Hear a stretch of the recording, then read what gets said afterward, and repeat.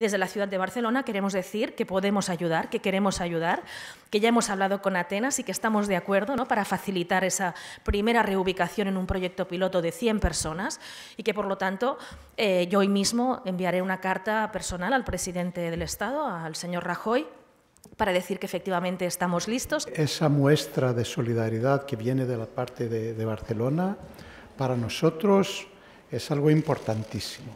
Y sobre todo insistir que ya es la hora que directamente fondos europeos se dirigen a las ciudades. Tenemos la flexibilidad, tenemos esos lazos muy fuertes con la sociedad y, podemos aprovechar de la ayuda europea eh, de una manera mucho más efectiva y rápida que los países, que los estados.